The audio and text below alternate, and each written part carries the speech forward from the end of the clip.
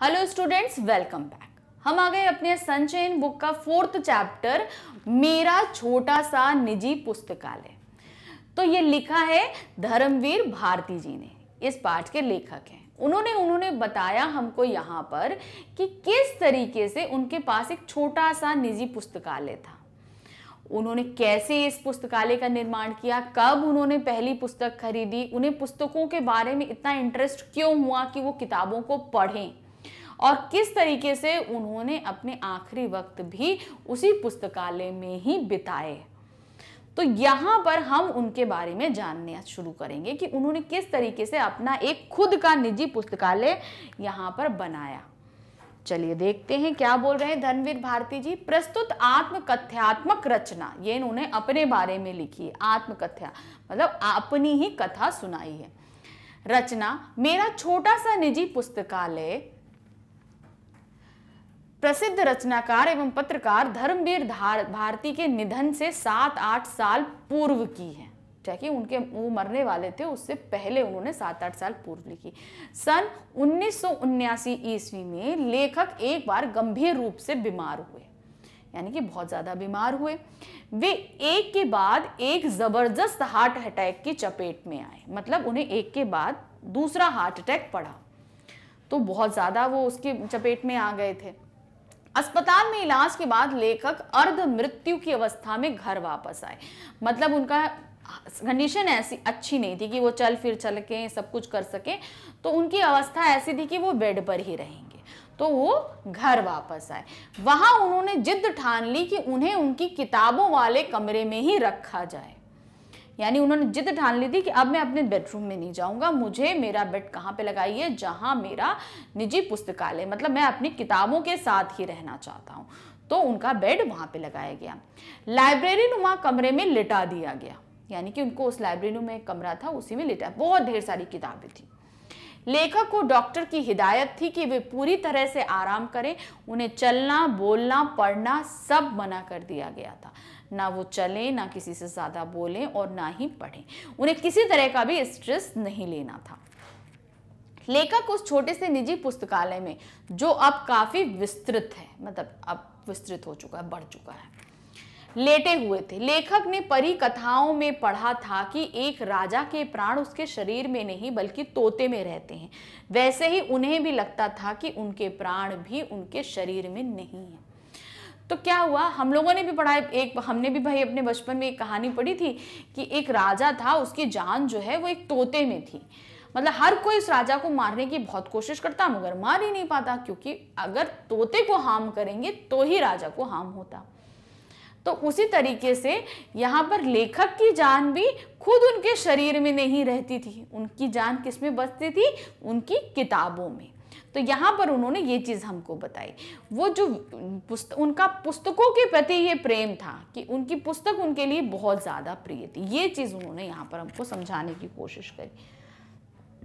उनके प्राण शरीर से निकल चुके हैं और वे इन हज़ारों किताबों में बस गए हैं जो पिछले 40-50 वर्षों में धीरे धीरे उनके पास जमा होती गई जब आर्य समाज का सुधारवादी आंदोलन शीर्ष पे था।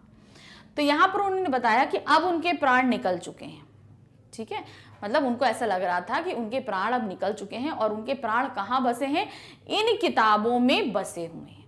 ये किताबें उन्होंने करीबन 40-50 साल पहले इकट्ठा करनी शुरू करी थी, जो अब इतनी ज़्यादा इतनी सारी किताबें एक बैग तो नहीं आती हैं। भाई आप थोड़ी लोगे, एक लोगे, दो लोगे, तीन लोगे धीरे धीरे करके एकत्र होती है ना। तो उसी तरह 40-50 सालों से वो ये किताबें एकत्र कर रहे थे। कब से? ये आर्य समाज की सुधारवादी आंदोलन शीर्ष पे था, तब से। तब लेखक के पिता आर्य समाज रानी मंडी के प्रधान थे। यानी कि जब ये सुधार, आर्य समाज को सुधारने का काम आंदोलन चल रहा था तब तब वो रानी मंडी में एक प्रधान थे, पिताजी उनके। और माँ स्त्री शिक्षा के लिए आदर्श कन्या पाठशाला की स्थापना की थी। और माँ ने क्या किया था? स्त्री, यानी लड़कियों को स्त्री शिक्षा पे ज़्यादा ज़ोर दिया जाता था। पहले लड़कियों को नहीं पढ़ाया जाता था सिर्फ़ उस पर ज़ोर दिया जाता था। उसके लिए सिर्फ़ उन्होंने लड़कियों के लिए एक पाठशाला पाठशाला खोली थी उनकी माँ ने। इन बातों से बचपन में ही लेखक प्रभावित होते रहे। अब दोनों ही सुधार, समाज सुधार से रिलेटेड काम कर रहे थे माता पिताजी। तो भाई बच्चे पे तो असर आना ही था। तो लेखक भी इन सारी चीज़ों से बहुत ज़्यादा प्रभावित थे। लेखक को बचपन में ही नियमित रूप से आर्य मित्र आय जितने भी मित्र आते थे, वो साप्ताहिक, बामदेव बामदेव सरस्वती, गृहिणी और बाल पत्रिकाएँ, बाल सखा एवं चमचम पढ़ने का अवसर मिला। यानी कि वो बचपन में ही उनके जितने भी मित्र आते थे, ये पुस्तकें उनको मिलती थी और वो सारी पुस्तकें ये पढ़ते थे। लेखक को सत्यार्थ प्रकाश जैसी पुस्तकों को पढ़ने का भी अवसर प्राप्त हुआ। सत्यार्थ प्रकाश जी की जो पुस्तकें होती हैं, वो बहुत ही ज़्यादा आपको इंस्पायरिंग पुस्तकें रहती हैं। मतलब हमें कुछ ना कुछ सीखने को उनसे बहुत मिलता है। इस प्रकार से लेखक के बचपन का पूरा माहौल ही पुस्तकों के संपर्क में था। इसीलिए तो भाई पुस्तकों जब हम बचपन से ही पुस्तकों जिस चीज़ के बीच में रहते हैं, हमें उस चीज़ का इंटरेस्ट बहुत अच्छे से जाग जाता है। तो वो बचपन से ही पुस्तकों के साथ थे तो उनमें, उनके अंदर ये पुस्तकों का लगाव बहुत शुरू से, बचपन से ही उनके अंदर था।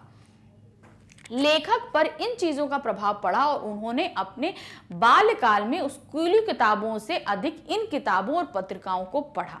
यानी कि जो स्कूल की किताबें होती थी, उससे ज़्यादा वो इन किताबों को पढ़ने में इंटरेस्ट रखते थे। बहुत पढ़ते थे, जो उन्हें मिल जाए वो किताब इनको पढ़ने में इंटरेस्ट रहता था। अपने छोटे से निजी पुस्तकालय के विषय में लेखक ने बताया कि कैसे उस पुस्तकालय का विकास हुआ। अब यहाँ पर वो पुस्तकालय के बारे में हमें बताना शुरू करते हैं कि कैसे उनके उस छोटे से पुस्तकालय का विकास होना शुरू हुआ। और कब शुरुआत हुई? कब इस लघु पुस्तकालय के लिए पहली किताब खरीदी गई? इन सब का वर्णन भी लेखक ने इस पाठ में किया है कि मतलब उन्होंने कैसे पहली किताब खरीदी, कैसे और जो है विकसित हुआ, उन्होंने कैसे सोची कि हम इस ऐसे पुस्तकालय की शुरुआत कर सकते हैं? तो ये सोच से लेकर शुरू कैसे हुआ? ये सारी चीज़ें जो हैं उन्होंने इस पाठ में हमको वर्णित किया है। लेखक को स्कूल में दो किताबें इनाम में मिली थी। यानी कि उन्होंने कुछ किया होगा प्रतियोगिता, और उनको दो किताबें पुरस्कार के रूप में मिली। एक किताब के माध्यम से लेख को लेखक को पक्षियों से भरे आकाश का ज्ञान हुआ। मतलब एक किताब किस थी? पक्षियों के बारे में थी। कि पक्षी किस तरीके से अपना जीवन व्यतीत करते हैं, इन सब चीज़ों के बारे में नॉलेज थी उसमें। और दूसरी किताब में रहस्यों से भरे समुद्र का ज्ञान था। एक तरफ़ जहाँ आकाश का ज्ञान दिया गया था, दूसरी किताब में उनको समुद्र का ज्ञान दिया गया था। समुद्र में कैसे जीव जंतु रहते हैं, कैसी गहराई है, कैसे क्या है, कैसे हमारे जीवन के लिए समुद्र आवश्यक है, ये सारी चीज़ों की जानकारी थी। लेखक के पिताजी ने अपनी निजी लाइब्रेरी के एक खाने से से अपनी चीज़ें हटा दी। यानी कि लेखक के जो पिताजी थे, उन्होंने एक खाना खाली कर दिया अपनी लाइब्रेरी से। और लेखक के लिए उसे सुरक्षित कर दिया कि अब तुम यहाँ पर अपनी सारी चीज़ें रखो। लेखक से बोला कि तुम यहाँ पर जो चीज़ें तुम रखना चाहते हो, अपनी पुस्तकें या अपना सामान, तुम यहाँ पर अपना सामान रख सकते हो। उन्होंने ऐसा करके लेखक से कहा, आज से यह खाना तुम्हारी अपनी किताबों का है। यह तुम्हारी अपनी लाइब्रेरी है। बस यहीं से लेखक की निजी लाइब्रेरी का आरंभ हुआ। तो जब उनको दो किताबें मिली तो भाई पिताजी भी बहुत उत्साहित हुए कि भाई हमें इस चीज़ का प्रोत्साहन देना चाहिए। तो उन्होंने क्या किया? उन्होंने अपनी लाइब्रेरी में से एक खाना खाली किया और कहा कि इस जगह तुम अपनी लाइब्रेरी बनाओगे। पहले तो छोटा सा उन्होंने छोटा सा एक जगह दे दी कि यहाँ पर तुम अपना, और आज से ये तुम्हारा निजी पुस्तकालय, तुम्हारा अपना पर्सनल तो इस तरीके से यहाँ उन जो है लेखक को प्रोत्साहित हुआ कि वो अपना निजी जो है पुस्तकालय बनाएँगे। लेखक स्कूल कॉलेज की शिक्षा करने के बाद एक दिन यूनिवर्सिटी पहुँचे। उन्होंने अपनी स्कूल कंप्लीट कर ली और कहाँ पहुँचे? यूनिवर्सिटी गए पढ़ने के लिए। अध्यापन की दुनिया में भी गए। अध्यापन मतलब दूसरों को पढ़ाने की, यानी कि बच्चों को पढ़ाने का जैसे काम होता है, वो वाला कार्य भी उन्होंने किया। अध्यापन छोड़कर लेखक इलाहाबाद होते हुए मुंबई आ गए। उन्होंने अध्यापन कार्य छोड़ा तो वो इलाहाबाद से कहाँ आ गए? मुंबई आए। यहाँ आकर संपादन की दुनिया में प्रवेश किया। मतलब लिखने लगे और उनकी जो कहानी, लेख, ये सब चीज़ें जो हैं, वो छपने लगी। इसी रफ्तार में और इसी क्रम में लेखक की निजी लाइब्रेरी का विस्तार भी होता चला गया। भाई, हम पढ़ाई से ही जुड़े रहे। भाई, हमने खुद पढ़ा। स्कूल पढ़ा, फिर लाइब जो है यूनिवर्सिटी आए, वहाँ पढ़ा, फिर दूसरे बच्चों को हम पढ़ाने लगे, अध्यापन के कार्य में आए। अध्यापन के कार्य के बाद संपादन कार्य में आए मतलब हमने लिखना शुरू किया और उसको छपवाना शुरू किया। तो शुरू से लेकर आखिर तक किससे रहे? हम पुस्तकों से ही तो जुड़े रहे पढ़ाई लिखाई से जुड़े रहे। तो क्या हुआ? धीरे धीरे इसी बीच में उनका पुस्तकालय भी विस्तृत होता मतलब बढ़ता जा रहा था धीरे धीरे जहाँ पिताजी ने थोड़ी किताबों की जगह दी थी, अब उनके पास बहुत सारी किताबें हो चुकी थी। निजी लाइब्रेरी के विस्तार की प्रेरणा लेखक को इलाहाबाद में रहते हुए मिली। तो अब हमें अपना विद्यालय पुस्तकालय बनाता, बनाना है तो इसकी प्रेरणा उन्हें कहाँ से मिली? इलाहाबाद में जब वो थे। तब उन्हें इस चीज़ की प्रेरणा मिली। लेखक के जीवन में पहली बार साहित्यिक पुस्तक की खरीद के विषय में बताते हैं। मतलब उन्होंने पहली पुस्तक कब खरीदी? साहित्य की उन्होंने पहली पुस्तक कब खरीदी और कैसे खरीदी? इसके बारे में वो बताते हुए हमसे क्या कहते हैं। कि माँ के कहने पर लेखक ने देवदास फ़िल्म देखने का निश्चय किया। माँ ने बोला कि, जाओ बेटा, तुम देवदास फ़िल्म देख कर आओ। माँ ने उस चीज़ के लिए उनको इंकरेज किया तो वो गए भाई देखने के लिए। वह पुस्तकों को बेचने और पुरानी पुस्तकों को खरीदने से बेच दो रुपयों को लेकर सिनेमा घर देखने गए। तो उन्होंने क्या हुआ कि पुरानी पुस्तकें जैसे हम बेच देते हैं, ठीक है ना, पुरानी पुस्तकें होती है जो हम दूसरों को बेच देते हैं तो उसमें जो पैसे मिलते हैं उनको बचाकर वो गए थे फ़िल्म को देखने के लिए। लेकिन फ़िल्म शुरू होने में थोड़ी देर होने की वजह से वहीं सामने किसी किताब की दुकान पर लेखक की नज़र पड़ी। अब वो पहुँच गए, टिकट खरीद लिया, मगर अभी फ़िल्म शुरू होने में टाइम था। तो क्या हुआ, उनकी नज़र एक सामने स्टॉल पे पड़ी जहाँ पर खूब सारी किताबें थी, किताब की दुकान थी। तो वो वहाँ पर चले गए।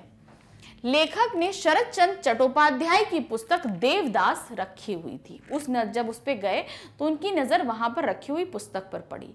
तो उन्होंने देखा कि ये तो शरद चंद उपाध्याय द्वारा चट्टोपाध्याय द्वारा रचित देवदास है।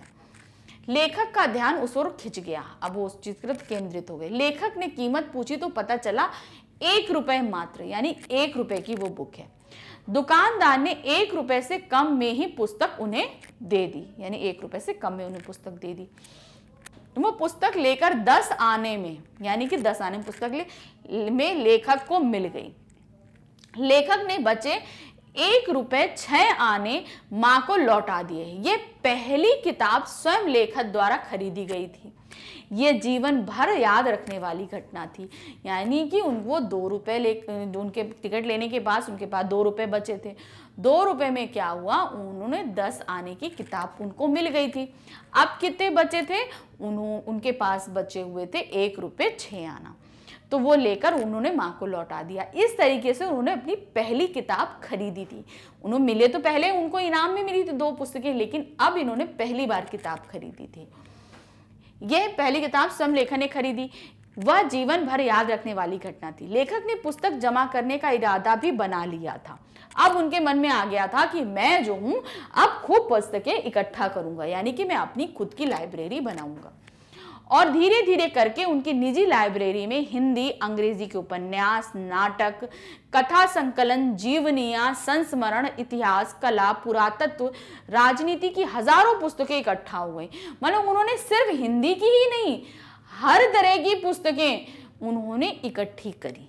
ऐसा नहीं कि सिर्फ़ इकट्ठा करी, क्योंकि उनको इंटरेस्ट था तो वो उनको पढ़ते भी थे। तो उन्होंने अपनी लाइब्रेरी में ये सभी इकट्ठा कर ली।